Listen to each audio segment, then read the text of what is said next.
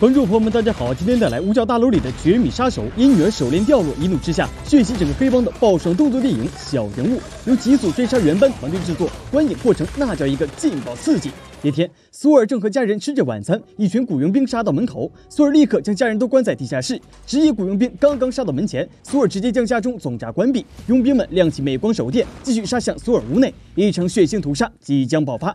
那索尔为什么会招惹这群雇佣兵？且听我慢慢道来。他叫索尔，曾经是叱咤美国黑道的顶级律师和五角大楼暗杀特工，很多横跨欧美拉三大洲的顶级毒枭都是他的朋友。而退役以后，就过着每天朝九晚五的生活，儿女不疼，老婆不爱，老爹进了敬老院，又让他雪上加霜的中年生活变得缺乏父爱。为了锻炼身体，索尔每天早上都会准时错过垃圾车，起床都会晨跑五公里，然后做一百个引体向上，刷卡坐公交上班。在公司做好数据后，索尔回到家中睡觉。第二天起床错过垃圾车，五公里引体打卡摸鱼，下班睡觉。第四天依然年年岁岁花相似，岁岁年年总相同。这是一潭绝望的死水，清风吹不起半点漪沦。这天，索尔平静的生活被两个匪徒打破。面对手枪对联，索尔认怂，指向储蓄现金的盒子。趁着劫匪扒他的手表，索尔看清劫匪手中的妖姬纹身。楼上儿子小帅苏醒，一把撞倒匪徒，勇敢的和匪徒进行着搏斗。面对儿子死亡危机，索尔操起高尔夫球杆，在最后一秒却放弃，并让儿子松开劫匪。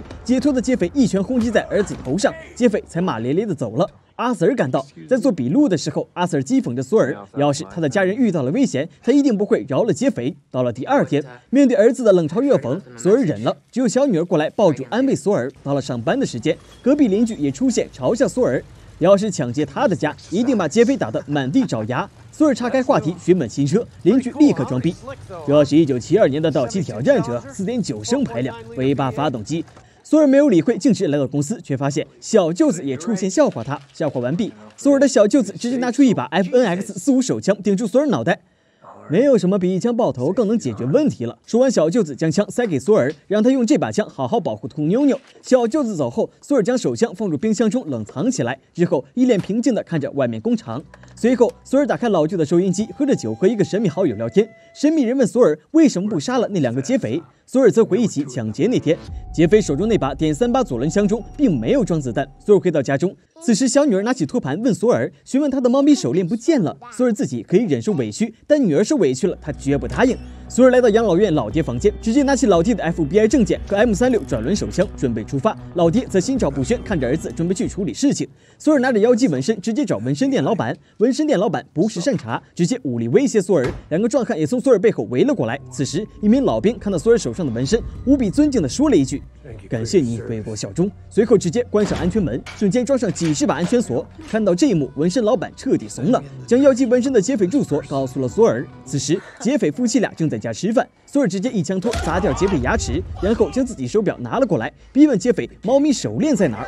索尔却突然听到婴儿哭泣的声音。走近一看，索尔发现这是一个戴着呼吸面罩的婴儿。索尔心软，放了劫匪一家，但无处发泄的气氛却让索尔疯狂砸墙。发泄愤怒一通后，索尔坐公交准备回家。此时，一辆悍马逼停公交，从上面下来一群醉鬼混混，这一看就是一群人渣。面对威胁，胆小的公交司机打开了车门，一群人直接打掉男乘客手中书籍。男乘客一看对方人多势众，认怂离开了公交车。随后，混混们开始调戏一个落单的女乘客。索尔站了出来，他今晚一定让这名女孩平安回家。索尔拿走女司机的手机，然后温柔的关上门，直接将 M 三六撞人手枪子弹全部倾泻出来。该交上车费了，你们的硬币呢？索尔向前冲去，直接一拳干晕脏辫。正在索尔大开杀戒的时候，黄毛混混一刀偷袭，捅在索尔腰上，直接将他摔出车外。此时，混混们被打破鼻子，牙齿都掉了一地。这还没完，索尔爬起，掰开公交车门，捡起地上的匕首，用安全带绑住，瞬间开启狂怒模式，一刀刺来。索尔徒手抓刀，猛刺混混心脏，抄起手包砸倒一人。此时，最后一名混混黄毛机智捡枪上子弹，索尔直接掰断钢管，一棍砸掉混混手枪，最后狠狠两棒，瞬间砸断混混咽喉。杀戮完毕，索尔下了公交车，将手机交给司机，戴上手表，潇洒离开。索尔变猛了，也变硬了。夜晚，索尔走到妻子土妞妞面前，温情无限。妻子感动的稀里哗啦，两个人玩的可开心了。霓虹闪烁的酒吧门口，俄罗斯黑道老大卡当夫走了进去。只见他霸气上到二楼，端着酒杯的他接受所有人的迎接。此时，有一个二愣子直勾勾看着卡当夫。为震慑在场的其他黑老大，卡当夫直接砸碎酒杯，两拳轰击直接扎瞎这人眼睛，然后狠狠一划拉，二愣子当场毙命。这一手直接让其他老大怂了，认卡当夫是最强大的黑帮老大。此时，卡当夫接到一个电话，急忙来到医院，看到变成植物人的弟弟，卡当夫猛然落泪。随后来到弟弟朋友病房，直接一椅子砸了过去，逼问弟弟朋友是谁干的。此时，一个混混默默拿出了索尔的公交卡。随后，卡当夫通过公交卡，利用手下的黑客技术，找到索尔，将他的父亲安排在养老院内。而后，通过勒索短信，找到了五角大楼的眼线。眼线查资料库，根本没找到索尔的消息。而后，眼线来到绝密档案室，查出索尔隶属五角大楼绝密杀手，所有资料都被抹除。情报人员得到消息后，直接将资料甩在卡当夫面前，他不再干了。此时，索尔非常高兴，唱着歌，洗着澡。随后，在吃饭的时候，神秘好友打来电话，告知索尔小心一点，其殴打的小混混背后有一个顶级的黑帮势力，带头大哥卡当夫掌管着所有黑帮的养老金，足有数亿之多，让索尔务必小心。索尔得到消息，给兔妞妞倒红酒之际，说出他们全家要到意大利旅游的计划。计划刚说完，索尔就看到一堆雇佣兵杀到门口，索尔立刻将家人转移，打开了地堡。家人都不敢相信，这个懦弱的男人居然在家里建的还有秘密地堡。索尔将家人全部关在密室，雇佣兵们刚刚杀到门前，杀向索尔屋内，举枪一阵搜索，索尔躲在墙角，待敌人走过，直接砸倒一名雇佣兵，再次狠狠两棒干倒一人，踢断棒球棍，将想爬起的雇佣兵彻底终结生命。男主潜伏起来，抓住枪械，一刀插进佣兵肩膀。夺枪扫射之际，此时雇佣兵开始持枪疯狂扫射，索尔一个跳跃，疯狂躲枪中，索尔直接被老黑偷袭电晕。昏迷的索尔被拖行放入汽车后备箱。此时，两名雇佣兵身受重伤，他们要先开车去医院止血。正在运送途中，索尔醒来，硬生生掰断手腕，挣脱手铐，拿起灭火器，将整个车内喷成白雾，导致汽车直接失控砸在地上。索尔连忙爬起找手铐钥匙，一转眼看到老黑一口鲜血喷了出来，看来是活不了几秒了。索尔休息好，一路小跑来到家中，第一时间给老爹打了一个保护好自己的电话，然后将秃妞妞和儿子？女儿送到车库。惊恐的秃妞妞让索尔告诉他一点关于他的事情。索尔回答秃妞妞，等他把这件事处理完，会告诉他一切。送走妻子？儿女，索尔一人来到子？弹机，直接掏出一盒金砖，随后将所有雇佣兵搬到沙发上。索尔打开碟片机，喝着威士忌，和濒临死亡的他们聊着人生。话还没有说完，最后一个雇佣兵也没了呼吸。此时，索尔在沙发下看到了女儿的猫咪手链，索尔叹了口气，直接在房间内放了一把火，拿上唯一的全家福，走出房间。此时，索尔的老爹正在睡觉，两个职业杀手准备干掉老爹。就在杀手开枪的时候，此时护工被吵醒，跑来老爹房间，发现老爹在看电视，虚惊一场。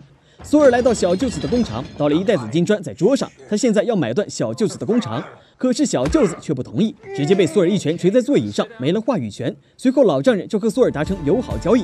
得到工厂，索尔利用地形开始设计陷阱：钢条扎炮筒、鼠夹炸弹、钉子烈性炸弹、楼梯地雷阵。一切准备就绪后，索尔喝了一口酒，带上汽油来到卡当夫养老金库，在 MP7A 幺冲锋枪一分钟八百五十发的突突下，无数黑帮分子死亡。索尔用枪换弹，一阵人挡杀人、多挡杀佛的疯狂杀戮后，索尔直接将汽油倒在消防管道中，引发消防警报，点燃钞票。将卡当夫的几亿养老现金一把烧掉，看着熊熊燃烧的现金，索尔满足的来到卡当夫酒吧，吃着牛排，听卡当夫高歌一曲。我愿变成童话里你爱的那个天使，张开双手，变成翅膀守护你。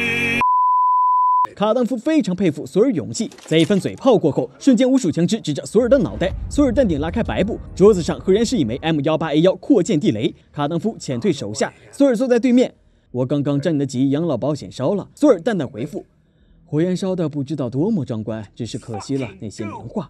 因为炸弹威胁，卡当夫不敢对索尔做任何举动。索尔威胁卡当夫后，决定离开酒吧。索尔穿过一个个黑帮混混，此时霸道无比的混混们纷纷让开了道路。但坐上车的索尔却并没有离开，他要等卡当夫杀来。卡当夫果真追了上来，索尔一个甩尾冲了出去，卡当夫在后面疯狂扫射。此时混混杀来，汽车直接顶在索尔车辆后面，利用视野盲区，索尔直接开枪扫死后面两人，一个甩尾冲了出去。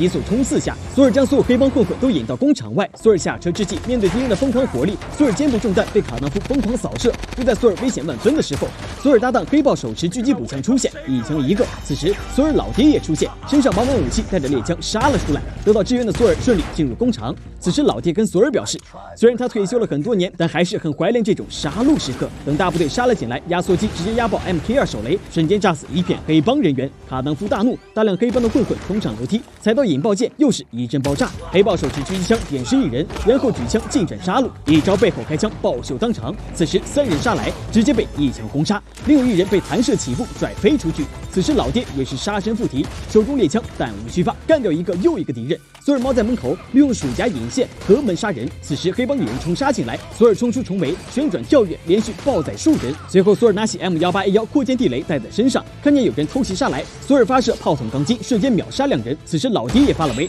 直接一枪引发吊着炸弹。趁着混乱，又到了三人乱杀时刻。平时厉害无比的黑帮成员，此时在三人的杀戮中悉数毙命。此时黑豹子弹打完，黑豹空中接过 FNX 四五，直接爆头击杀。卡当夫彻底狂怒，疯狂扫射三人。三人濒临死亡之际，索尔拿起胶带，在老爹和黑豹一脸懵逼中，直接将扩建地雷绑在防弹玻璃上，朝着卡当夫冲了过去。只听一声剧烈爆破，卡当夫被炸出十米远，死的不能再死。而金刚不坏的索尔屁事没有。